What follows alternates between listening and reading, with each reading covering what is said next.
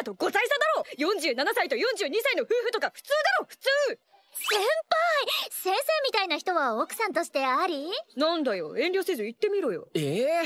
趣味も合うしゲームも一緒に遊べるし料理も裁縫も得意なんですよね。んまあな。なぜこんなに緊張してるんだ？ありなのか？なしなのか？でも3次元だからなしだな。だよね。口ねえぞてめえら。